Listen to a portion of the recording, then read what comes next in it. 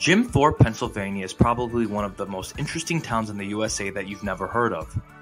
This charming and historic town is nestled in the Pocono Mountains and maintains an authentic charm that is hard to find anywhere else. Join us in exploring this amazing little town that has been deemed the Switzerland of America.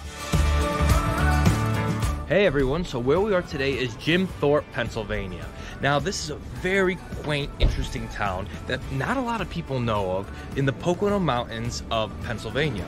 Now, what's cool about it is it has a very old world charm. So, most of the uh, structures here were built in the early to mid 1800s, and it's a very uh, narrow like uh, street design, right? So you almost kind of feel like you're in Europe, which actually gives it the name the Switzerland of America. So it's kind of cool because it has this small town and then it opens up to these big Pocono mountains behind it. So we're gonna kind of go through and explore and see the best things to do when you're here in Jim Thorpe, Pennsylvania.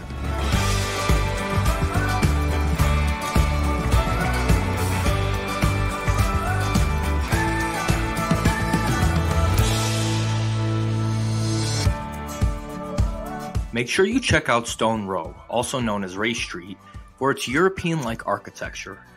It exudes authenticity and is the home of some of Jim Thorpe's best restaurants and shops. Jim Thorpe, Pennsylvania began as a coal mining town in the early 1800s and was originally called Mauch Chunk, which means bear place in the Lenape Native American language. The town was renamed in 1954 after the famous and local athlete Jim Thorpe. The town lays nestled between the mountains and retains an authentic and historic charm filled with attractive architecture and mom and pop stores, restaurants, cafes, and bars. Now, when you walk along historic Stone Row, you can't help but just be impressed by the very interesting and ornate and quaint architecture that's all along this this little street. Um, you know, it really is a historical city, and it opens up to these big mountain vistas. So later in the tour, we're going to go actually into the mountains. So that's part of it, right? So that's why it's called the uh, Little Switzerland or Switzerland of America because it has a Switzerland vibe. You know, it has almost European like street setting, and then it opens up into these big mountains, and it's a place where you can go hiking, uh, skiing, uh, bird watching, camping, all kinds of outdoor activities. So I definitely recommend um, if you're into outdoor activities to see that also while you're here in Jim Thorpe.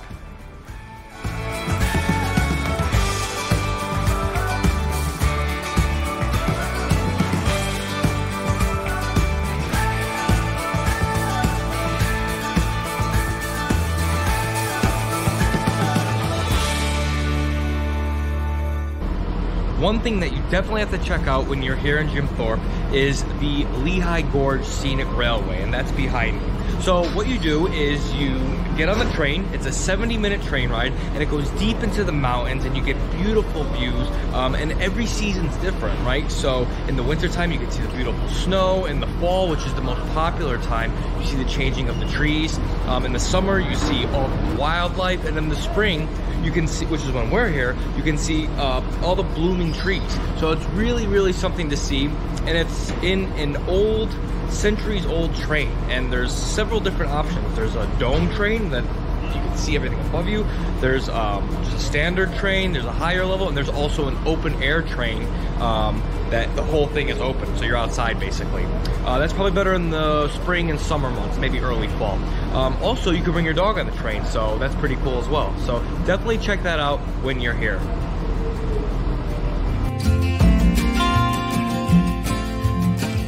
Taking a train ride on the famous Lehigh Gorge Scenic Railway is one of the best things to do while in Jim Thorpe.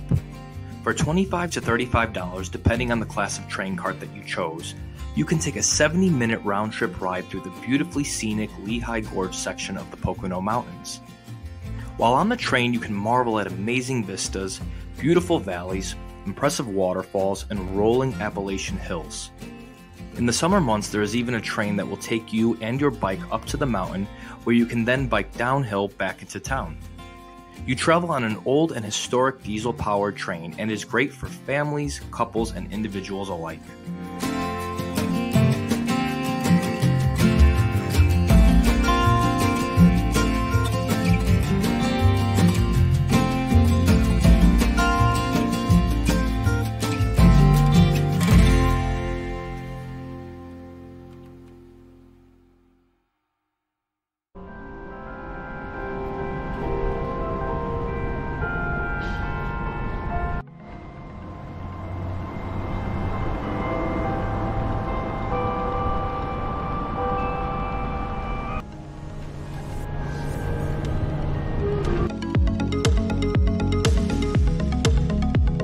So two things that you have to see when you're here are the Asa Packer Mansion and the Harry Packer Mansion. So the Harry Packer Mansion is um, actually a, an inn, so you can actually stay here.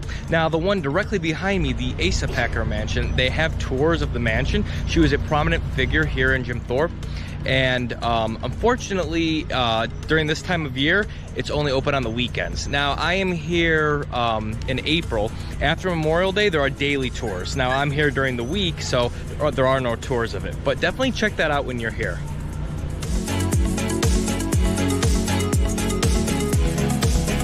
The Packer family were railroad tycoons that put down their roots in Mauch Chunk, and their companies were responsible for employing much of the town in the mid to late 1800s.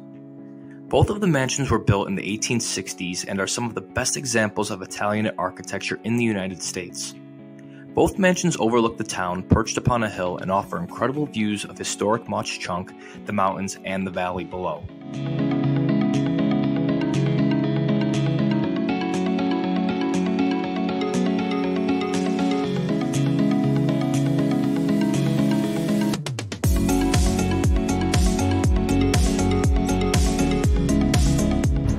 Okay, so where we are now is the hub of Jim Thorpe. So we are along Broadway, that is the main commercial corridor. And along this corridor, you're gonna find tons of hotels, B&Bs, restaurants, pubs, bars, quirky stores. It really is a live commercial corridor and you're gonna see a bunch of things as we go along here. So definitely check that out when you're here. Now, Broadway is the main commercial corridor and it's within the larger historic district, which is a very large historic district. Um, the street you saw earlier, Stone Row, that's also part of the historic district. So definitely check both of these out when you're here.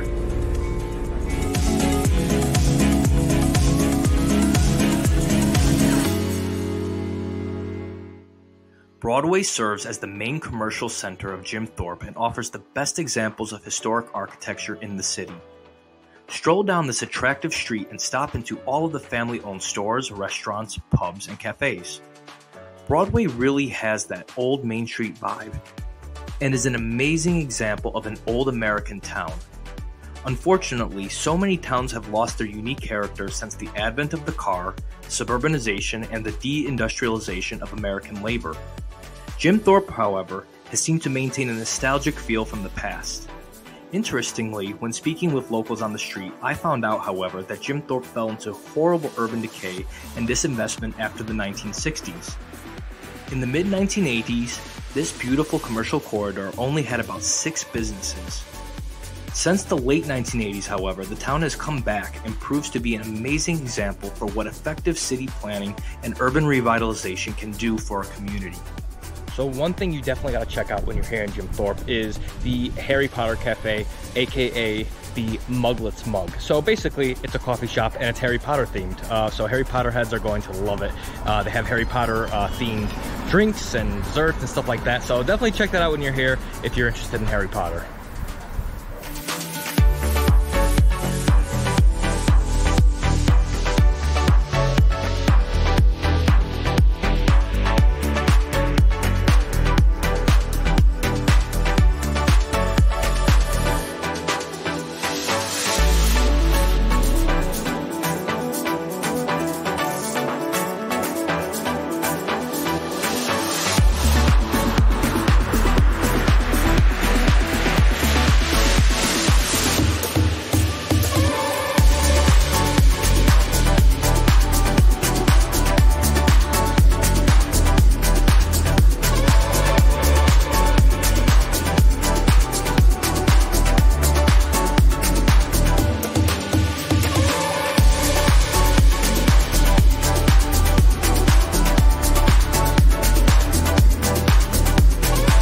As you continue west along Broadway, you will come to the terminus of the commercial corridor.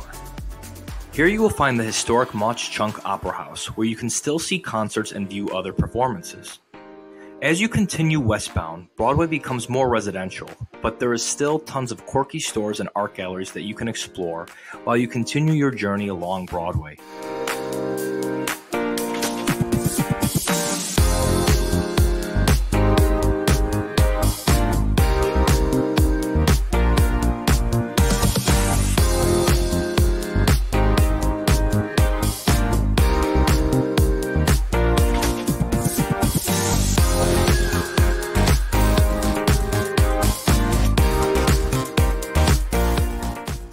Next site you have to see, which is all the way at the western end of town and basically is kind of towards the end of the main commercial strip um, on Broadway, is the Old Jail Museum, which is behind me. So this is an old jail hence the name.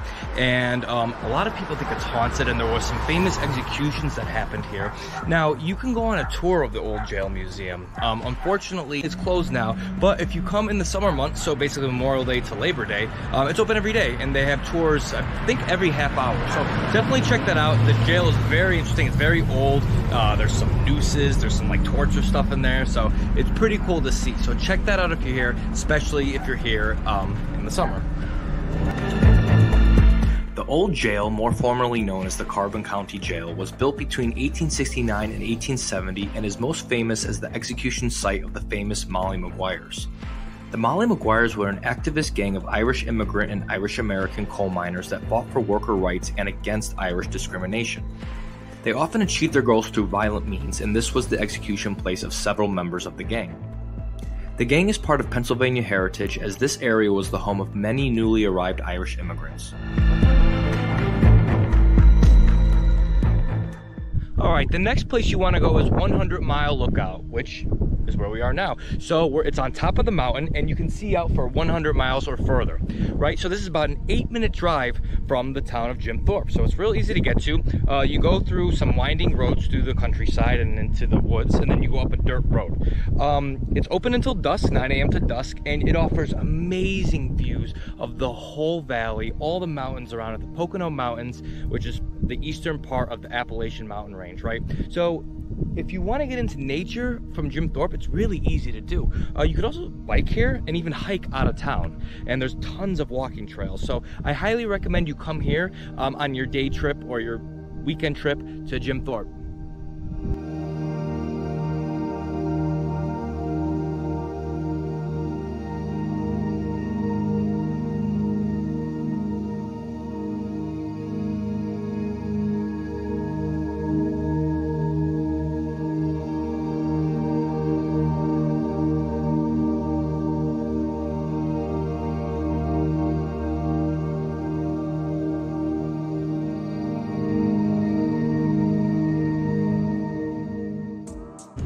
Jim Thorpe is filled with tons of restaurants and it really has such a diverse set of places to go. It really will suit any taste. Um, my recommendation is this restaurant right here, Stone Row Pub and Eatery. So it's an historic building um, and it's kind of finer dining. So um, it's not so much pub fare, um, it's a kind of fancier food, but the food is fantastic and the chef is super nice and is kind of greets everyone who walks in the door. Um, and it's an historic place, so it's pretty cool to see. So I recommend checking this out for dinner when you're here in Jim Thorpe.